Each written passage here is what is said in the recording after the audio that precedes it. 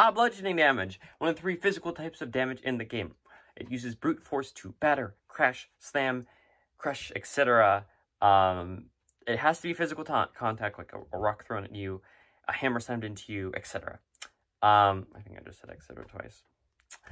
Weapons that deal bludgeoning damage include the club, great club, light hammer, mace, quarterstaff, sling, maul, warhammer, and unarmed strikes. Also, siege weapons like catapults and trebuchets deal bludgeoning damage. There are no bludgeoning finesse weapons, which says that a, lot about them, um, wielded by brute force and strength rather than precision. And there is only, um, there's no bludgeoning thrown weapons, only one bludgeoning range weapon, which is the sling. Spells that deal bludgeoning damage include Bigsby's Hand, uh, Evard's Black Tentacles, Bones of the Earth, Catapult, Control Water, Dust Devil, Earth Tremor, Earthquake, Erupting Earth, Ice Storm, Investiture of Wind, Maelstrom, Magic Stone, Maximilian's Earthen Grasp, Meteor Swarm, Storm of Vengeance, Storm Sphere, Tidal Wave, Transmute Rock, Tsunami, Whirlwind, Wind Wall, Wrath of Nature, and then spells that enhance physical damage like Shillelagh. that is quite the list. Most bludgeoning spells are Evocation, Conjuration, or Transmutation spells are a surprisingly number of spells related to bludgeoning damage, but no complaining there because magical physical damage is almost never resisted.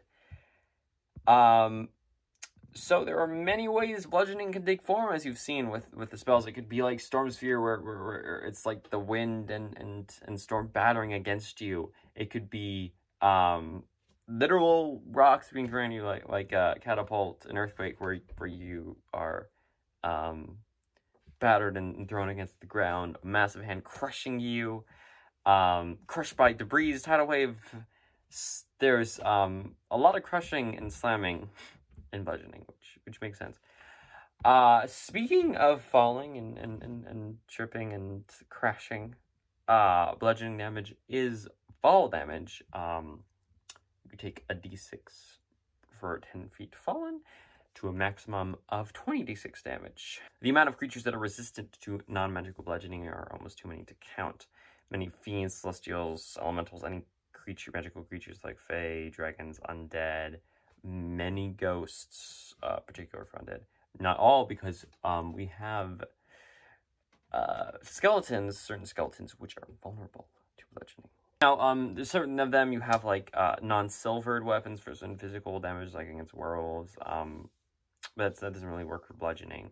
But you also have that for adamantine, where um, it's non uh, non magical bludgeoning, and, and all the physical types are resisted by like gargoyles, but adamantine works against them since they are objects. I mean, made of non lifelike matter. You have like some that are immune to just certain physical types, like oozes are uh, immune to slashing, but not the others. So bludgeon away. Um, creatures that deal bludgeoning damage are, of course, any with bludgeoning weapons. Um, natural weapons like tails and headbutts.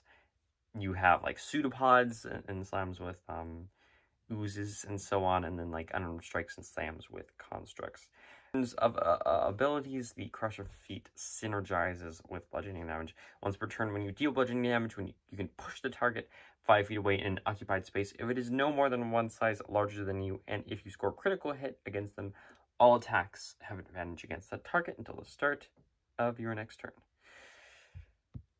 Quite flavorful slamming and, and, and pushing uh, of the brute force bludgeoning damage. Um, when it comes to class abilities, there are quite a few things that bump up weapon damage, of course. As I mentioned before, the difference between uh, on other video, uh, on other like force and, and the thunder one, the, the, difference between bludgeoning and um, thunder and force is that force is magical uh, uh, impact, um, thunder is concussive waves, and then bludgeoning is actual contact something. It's like the types of attacks that leave bruises, causing you to cough blood, get dazed, break bones and, and that kind of same brunt force uh, impact. So there you go. Uh, I hope this video on bludgeoning damage was helpful. Thank you for watching. This is Sean from Dodecadungeon, signing off.